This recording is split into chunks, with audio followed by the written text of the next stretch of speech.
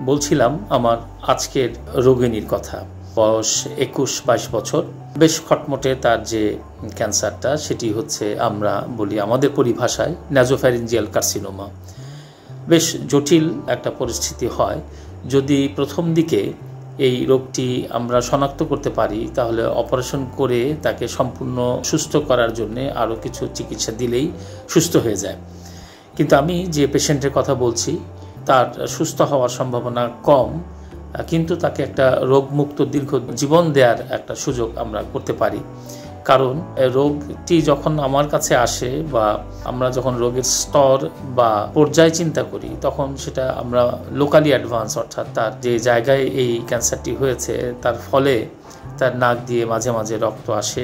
দৃষ্টিশক্তি প্রায় কমে যাওয়ার পথে তীব্র মাথা ব্যথা হওয়া তো এই বিষয়গুলো যখন সে আমার কাছে আসে, তখন তার বাবা এবং সাথে তার খালা ছিল এবং তাদেরকে সব কিছু বোঝানো হয়, আমরা কীভাবে চিকিৎসাটা দিব। আমাদের চিকিৎসা প্ল্যান ছিল যে তাকে কেমোথেরাপি দিব।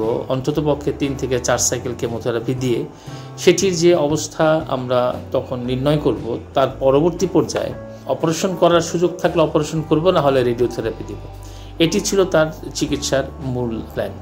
তো সেই হিসাবে আমার রোগিনী স্বাভাবিকভাবেই তার যে বাবা সাথে ছিল, তিনি জানতে চাইলেন কি পরিমাণ টাকা খরচ হবে। না, আমরা যেগুলো সবসময় কাউন্সিলিং করে বলে দিই যে, প্রতিটা কেমোথেরাপির সময় কি পরিমাণ টাকা লাগবে, কি কি পার্শ্ব প্রতিক্রিয়া হবে, কতদিন পর পর আসতে হবে, আমরা যদি চিকিৎসা দিই কি উপকারটা হবে, চিকিৎসা না দিলে কি সমস্যা হবে, বা চিকিৎসা দিলে কি কি সমস্যা হতে পারে।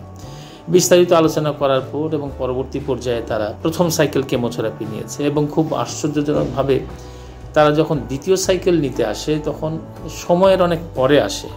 কিন্তু তারপরেও আমি খুব অবাক হই যে তার যে উপসর্গগুলো ছিল, সেগুলো প্রায় সত্তর থেকে আশি ভাগ চলে গেছে। আমি খুব আশান্বিত হই এবং তখন আমার শিক্ষকদের কথা মনে পড়ে যে যে ক্যান্সারগুলো খুব অ্যাগ্রেসিভ অর্থাৎ খুব দ্রুত যেগুলো শরীরের মধ্যে চলে আসে, সেগুলোর উপরে কিন্তু কেমোথেরাপির কাজ খুব ভালো হয়। তো আমি তাদেরকে একটু সতর্ক করে বলে দিলাম যে আপনারা কেমোথেরাপি নেওয়ার জন্য একটু দেরিতে এসছেন সময় মতো আসা উচিত। তিন সপ্তাহ পর পার করে আপনারা এসছেন। আপনারা কিন্তু পরের কেমোথেরাপি অর্থাৎ আমরা এবার দিয়ে দিচ্ছি, কিন্তু পরের কেমোথেরাপির সময় কিন্তু সঠিক সময় আসতে হবে। রোগী চলে গেছে। আমাদের কত রোগী আসে, কত রোগী কখনো কখনো আমাদের চিকিৎসা থেকে বাইরে চলে যায় বা অন্য কোনো ডাক্তারের কাছে যায়, আমি এই রোগীর কথা আর আমার মনে নেই। কিন্তু ঠিক দ্বিতীয় কেমোথেরাপির দুই মাসের মাথায় আবার সেই পেশেন্ট আসে।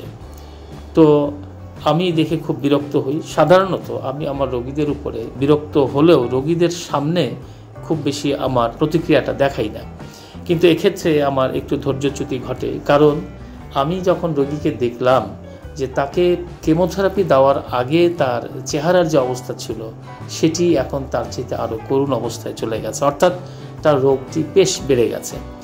সেক্ষেত্রে আমি আমার ধৈর্যচ্যুতি ঘটে এবং আমি তাদেরকে বলি যে, আপনাদের তো আসলে চিকিৎসা দেওয়ার ক্ষমতা আমার নাই। কারণ আপনাদেরকে বারবার বোঝানো হয়েছে যে, এটি একটি নির্দিষ্ট সময় পরপর যদি আমরা চিকিৎসাটা না নিই, তাহলে চিকিৎসার যেমন ব্যাহত হয়, একইভাবে আপনার অর্থগুলো কিন্তু নষ্ট হচ্ছে। অর্থাৎ কাজ হচ্ছে না, আপনি অর্থ খরচ করছেন। সুতরাং আমি যেটি সচরাচর আমি করি না, খুবই বিরল আমি ফাইলটি ছুঁড়ে মারি এবং বলি যে কি সমস্যা আপনাদের? চিকিৎসা নিলে আমার কথা শুনতে হবে, না নিলে আপনারা আমার কাছে আসবেন না। তখন মা খালা এবং রোগী চুপ করে বসেছিল। বাবা বলার চেষ্টা করছিলেন যে, স্যার, এবারের মতো মাফ করে দেন। আমার কিছু সমস্যা ছিল, সেজন্য আমি আসতে পারিনি। আমি বললাম দেখেন সমস্যা থাকতেই পারে। সেটি যদি আর্থিক সমস্যা হয়, তার জন্যে আপনার মেয়ের চিকিৎসা আপনি পিছিয়ে রাখবেন না। আমাদের সরকারি হাসপাতালগুলো আছে, সেই হাসপাতালে যখন আমরা চিকিৎসা ব্যবস্থা করি, সেগুলো কিন্তু একটু কম খরচে আমরা সেই চিকিৎসা দিতে পারি।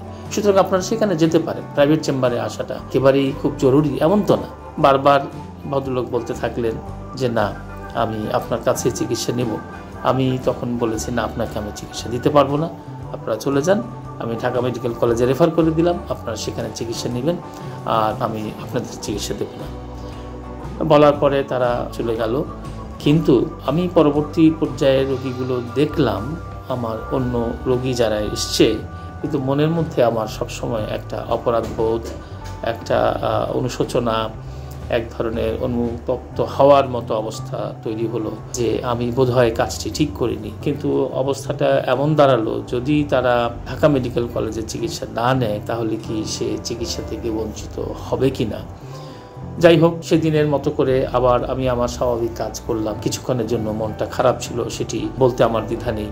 এবং অবশ্যই আজকে প্রকাশ্যে আপনাদের কাছে আমি সেই ঘটনার জন্য দুঃখ প্রকাশ করছি, ক্ষমা প্রার্থনা করছি যে একজন চিকিৎসক হিসেবে এ ধরনের আচরণ না করাই ভালো। যা হোক, মনে মনে কামনা করছিলাম, অন্তত ঢাকা মেডিকেল কলেজ থেকে সে যেন চিকিৎসাটা নেয়। পরের দিন সকালবেলা আমি একটা ফোন পাই এবং এটি আমার পরিচিত কোনো নাম্বার থেকে ফোন না। তারপরও আমি সাধারণত সব ধরনের ফোন সবার ফোনই আমি ধরার চেষ্টা করি। আমি ফোনটি রিসিভ করলাম। অপর প্রান্ত থেকে একজন মেয়ে কণ্ঠে সালাম দিয়ে আমাকে বললেন যে, স্যার, আপনার যদি সময় হয়, তাহলে আপনার সাথে আমি আমার রোগীর ব্যাপারে কিছু কথা বলব। আমি তখন বললাম যে, আমি কি আপনার রোগীকে দেখেছি? তখন তিনি একটু পরিচয় দিয়ে দিলেন। বললেন, স্যার, আপনি আমাকে চেনেন। গতকালকে তখন সে রোগীর নাম বলল এবং বলল যে গতকালকে আপনি আমাদের সাথে যে রাগারাগি করেছেন, আমি সেই মেয়ের খালা বলছি। তো তখন আমার মধ্যে এক ধরনের যেটাকে বলে হালে পানি পাওয়া, আমি সাথে সাথেই বললাম যে হ্যাঁ আমি আপনার কথা শুনব, কিন্তু আমি আগে আমার কাজটা করতে দিন। আমি ক্ষমা প্রার্থনা করছি যে আপনাদের সাথে সেদিন আমার বা গতকালকে আমার যে ব্যবহার, সেটি আসলে একজন চিকিৎসক হিসেবে আমার করা ঠিক হয়নি। তখন ভদ্রমহিলা বললেন তারও যে খুব বয়স বেশি তা না, তার বয়স তিরিশ পঁয়ত্রিশ হবে। তিনি বললেন যে, স্যার, আপনি তো ঠিকই করেছেন। আমার ভাগ্নি এবং আমি, আমরা কিন্তু আপনার উপরে কোনো রাগ করিনি। ভাগ্নি, বিশেষ করে আমার ভাগ্নি, আর আমার রাগ তো আছেই। আসলে রাগ হচ্ছে দুলাভাইয়ের উপরে, অর্থাৎ পেশেন্টের বাবার উপরে তাদের রাগ। আমি একটু অবাক হলাম যে কেন, কথা কেন বলছেন? বলে, স্যার এই কথাটা বলার জন্যই আমি ফোনটা করেছি। সেটি হলো, উনি যে নিয়মিত চিকিৎসা নেয়ার জন্যে বা তার মেয়েকে বা আমার ভাগ্নিকে নিয়ে যান না, তার একটা প্রধান কারণ হচ্ছে আমার ভাগ্নি জামাই। উনি সৌদি আরবে ছোট একটা চাকরি করে এবং সেখান থেকেই কিন্তু আমার ভাগ্নির জন্যে যে চিকিৎসা খরচ হয়, সমস্ত টাকা তিনি সময় মতোই পাঠান। কখনো কখনো অ্যাডভান্স পাঠিয়ে দেন। তাহলে আপনাদের সমস্যাটা কোথায়? বলে, স্যার, আমার দুলা ভাই ওর, ওনার একটা দোকান আছে। শহরতলিতে একটা দোকান আছে এবং সেই দোকানে ভাগ্নি জামাই যে টাকা পাঠান, সেই টাকা দিয়ে উনি দোকানে মালামাল তোলেন। কিছুদিন সেই মালামাল বিক্রি হওয়ার পরে একটু লাভ হয়। তারপরে সেই টাকা নিয়ে এসে ওষুধ কেনে এবং আমার ভাগ্নির চিকিৎসার জন্য আপনার কাছে যায়। এটি আমরা সবসময় দুলাভাইকে নিষেধ করেছি, কিন্তু উনি কারও কথা শোনেন না। উনি এসব কারণেই আমার ভাগ্নির চিকিৎসাটা ঠিকমতো হচ্ছে না। এই কথাটা না বলা পর্যন্ত আমার শান্তি ছিল না। সেজন্য স্যার, আমি আপনাকে ফোন করে জানালাম। আমি এই তথ্য পাওয়ার পরে শুধু ক্ষীণকণ্ঠে জানতে চাইলাম, পেশেন্ট কি আপনার দুলা ভাইয়ের আপন মেয়ে কি না তিনি বললেন যে হ্যাঁ আপন মেয়ে এবং বড় মেয়ে। আমি বাকরুদ্ধ হয়ে গেলাম। কিছুক্ষণের জন্য আমার কথা বন্ধ হয়ে গেল। আমি আস্তে করে বললাম, আপন মেয়ে রিপিট করল যে হ্যাঁ আপন মেয়ে। বললাম, ঠিক আছে, আপনারা ঢাকা মেডিকেল কলেজে চিকিৎসা নেন। ফোনটা রেখে দেন আর আমি আবারও ক্ষমা চাইছি আমার ব্যবহারের জন্যে। ফোন রেখে দিলেন।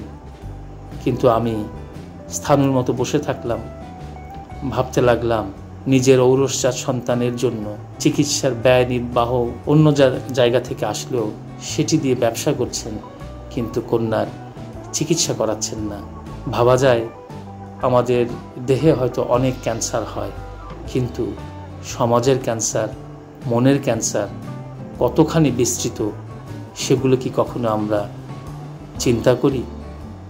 চিন্তার বিষয়ই বটে।